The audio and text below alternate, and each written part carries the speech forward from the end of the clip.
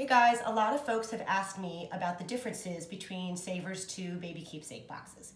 We have a deluxe version, the deluxe baby keepsake box, and we have the baby vault. And they have a lot of similarities, but also some pretty significant differences. So the most important similarity is they are both keepsake boxes for your baby. They both make it modern and simple to save what matters most. They both come with our custom illustrated, hand illustrated images on our labels that guide you in what to save and where to save it. So that's a key thing. They both have the same labels for saving your baby stuff. Um, but they also have a key difference, which is, and they also, I'm sorry, they both have the custom dyed fabric on the outside that's really meant to last. They're both made with acid-free paper. In terms of detail, in that sort of sense, they're both uh, very similar. But the key differences are in the size, in the price, and in some of the details that are included.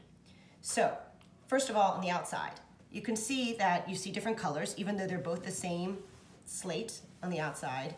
They have different colors that you see from the bookshelf. Um, so that's something to bear in mind.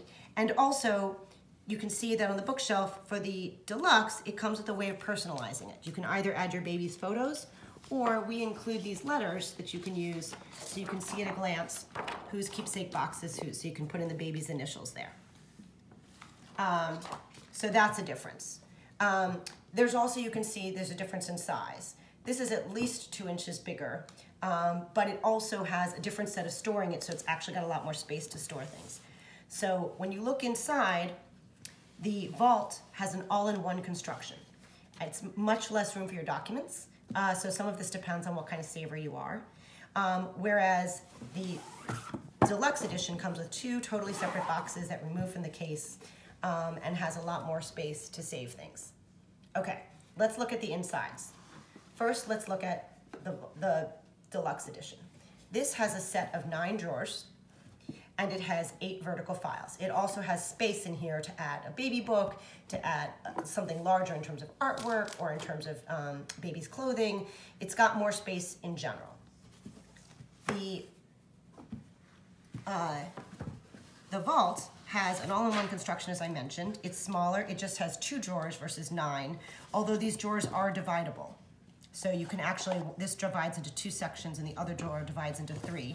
So you can have five spaces there if you want. Um, it has less of these folders and less room. You can see it's just about an inch and a half. Uh, it has six vertical files and four half files.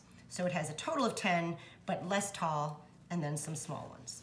Um, the other difference is that the deluxe edition comes with some extras. It comes with a survey for filling out your child's favorites. It comes with little envelopes, uh, little envelopes to shave your daughter's or your child's hair or teeth. Um, so it comes with little extras like that that the Vault does not. So both baby keepsake boxes, big difference is price. Uh, the Vault is $59.95. The Deluxe is $84.95. Um, but a lot depends on kind of how much you save. If you save a lot, you're much more likely to use the, to, you'll be better off with the deluxe. If you don't save as much, or if you're looking for a little bit of savings, the vault is the way to go. So if you have any questions, we're happy to answer them.